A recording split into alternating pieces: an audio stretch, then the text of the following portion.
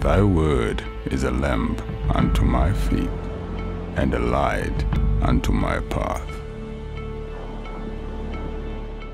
Greetings once more to our viewers at home. Welcome to our devotion. My name is Otto Motlapula. We'll be looking at John the Baptist. That's where we will focus on. Um, you'll realize that we are focusing um, on some of the Bible characters, what type of people they were, the personality, the character, the decisions they made, so that we can choose to do what is good from their personalities or characters, so that we can learn their mistakes and do that which is right. Let us pray. Father, we thank you for your word. We pray that you may give us a correct understanding through the Holy Spirit, that we may make right decisions. In the, in the name of your Son, we pray. Amen. Um, we look at John the Baptist. Um, the, the name of John means that um, Jehovah is gracious. Um, John, as we know, it was a forerunner of Jesus Christ. John was the son of Zachariah, who was a priest, um, and his mother was Elizabeth. In Luke chapter 1, we see God sending Gabriel to tell um, Zachariah that he would have a son. Now, one of the most amazing things about um, John and Jesus Christ is that their names um, are given to the parents by angels. Uh, the same Gabriel visited um, Mary and Joseph, the, the parents of Jesus Christ, to tell them that you shall call his name Jesus, for he shall save his people from their sin. So Gabriel tells Zechariah that the, the, the, the, son should be named John, which means Yahweh is gracious. Um, and, and, and John, it was also specified that he was to be a Nazarite. Um, and John was filled, if you read Luke chapter 1, John was filled with the Holy Spirit from the womb, something which is amazing. And, and he was a man who would live and preach with spirit and power of Elijah. He was a man who was not fearless. He was a man, when you were doing something wrong, he would tell you this is wrong. He, he was not afraid to call sin by its right name. He was a cousin of Jesus Christ. Um, he was six months older than um, um, Jesus Christ. He, he's a man who spent most of his time preaching in the wilderness. He was a man whose dress code was simple. His diet was simple. He spoke the cutting truth. Um, people left the cities, wherever they were, to come and, and listen to John and, and, and to be baptized of John for the forgiveness of sin. That's another thing that I want us to be aware of. The baptism of John was the one unto repentance. That is why in the book of Matthew he says, There is one who comes after me, you know, whose shoelaces I'm not even worthy to touch. That man will baptize you with water and the Spirit.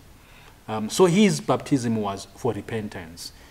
And when Christ now started his ministry, uh, people were baptized not only immersed underwater, but they received also the Holy Spirit.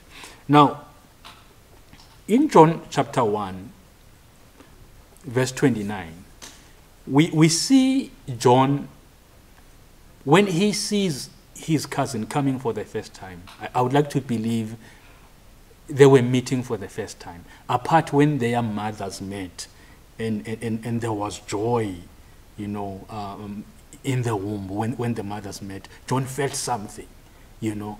Um, apart from that moment, I think this was the first time uh, Christ comes to John, especially in Matthew chapter 3, to be baptized by Jesus Christ. And, and John says, actually, you should baptize me, not the other way around. Christ says, allow it for now to fulfill all righteousness. As I said, John's baptism was for the forgiveness of sins. Jesus Christ did not need any forgiveness because he had not sinned.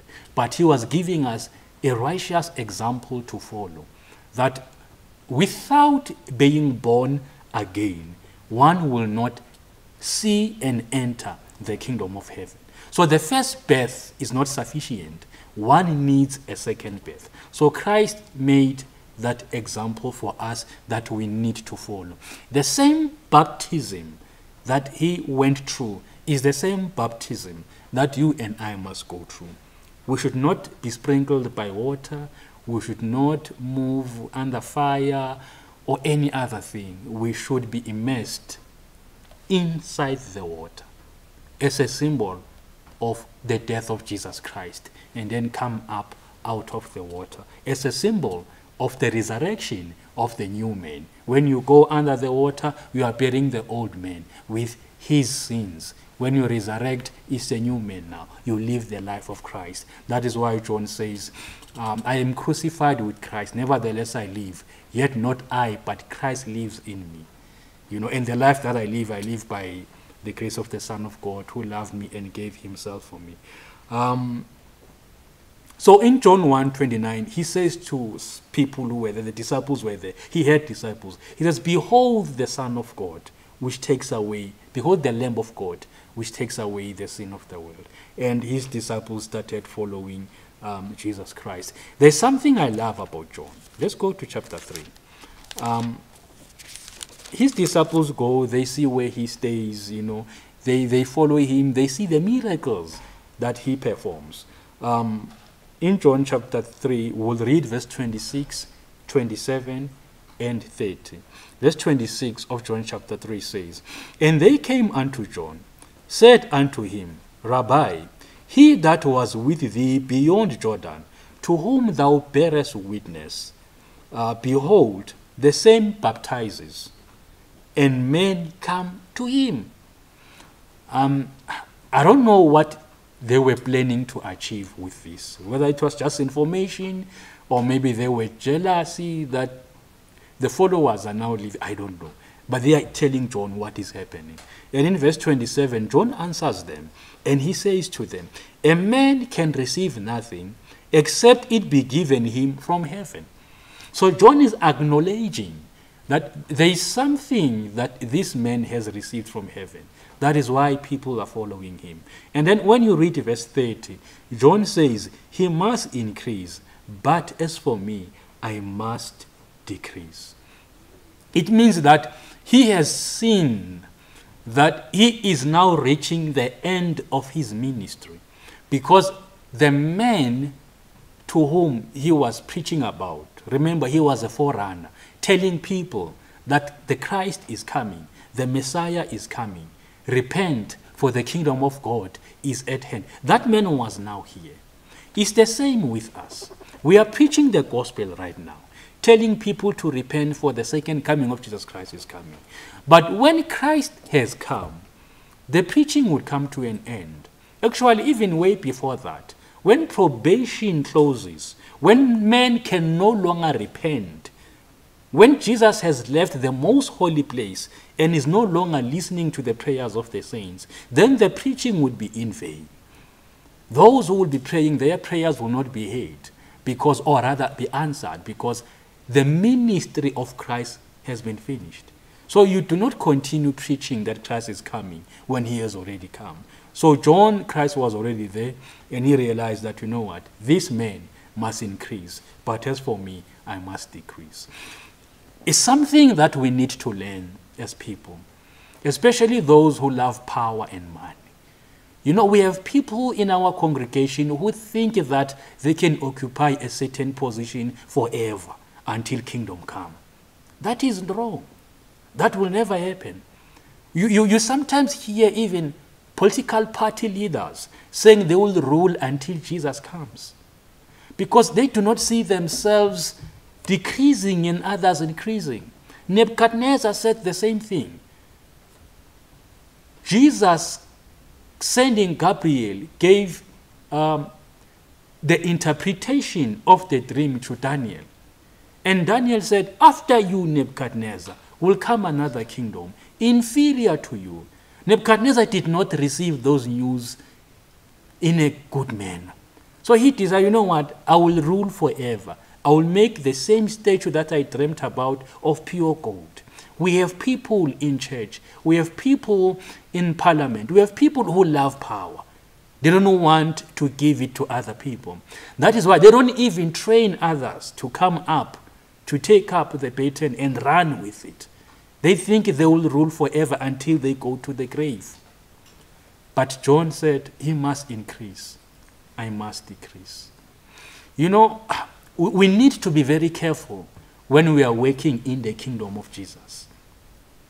Because he, the, the Bible says, He removes kings and He sets up kings. It is Him who does this. So today He has given you a certain position, accept it, make use of it, and work for Jesus. But when the, the turn comes for you to give up the space for someone else, allow it to happen, like John did. He was someone who was very humble. We can learn something from John. We need to be humble under the mighty hand of God. Unfortunately, because of his preaching, John was imprisoned. As I mentioned, he was speaking the truth um, and he went to jail. And unfortunately, that's where he died. Uh, his head was removed because he told Herod that what he is doing is wrong. Herod left his wife and married the wife of his, his own brother, you know. And, and, and John told him, You are setting a wrong example. It's wrong for you to do such a thing. And because of that, he was thrown to jail. Um, in closing, we'll read Luke chapter 7. We'll go to Luke chapter 7, read from verse 24 to verse 28 about John. It says, When the messengers of John were departed, he began to speak unto the people concerning John. What went ye out in the wilderness to see? This is Christ. A reed shaken with the wind. But what went ye out for to see? A man clothed in soft raiment. Behold, they which are gorgeously apparelled and live delicately are in the king's courts. But what went ye out for to see? A prophet? Yes. I say unto you, as much more than a prophet. So John was far much more than a prophet. And, and I remember Jesus Christ say, says that of all men that were born from women, John is the greatest. You know, so many prophets prophesied about Jesus Christ. Only John made a prophet that Christ is coming, repent, and is the one who did not only see Christ, but had an opportunity, a privilege of baptizing the very same Christ. So, Christ says that John was greater than a prophet. He says in verse 28 Among those that are born of women, there is no greater prophet than John the Baptist. But he that is least in the kingdom of God is greater than John. So these are the words that we find in the Bible about John the Baptist. He was buried by his disciples after he was beheaded. And I pray that God may help us, that we may be like John, full of the Holy Spirit, preaching the truth without fear or favor, telling the people to repent that the kingdom of God is at hand. And we too should be aligned to the same truths that we are preaching. And we should not compromise the truths because of who people are. And that we should always be humble. And that when God decides that our ministry in a certain place is done, we need to go somewhere else. We humbly accept that. This was John the Baptist.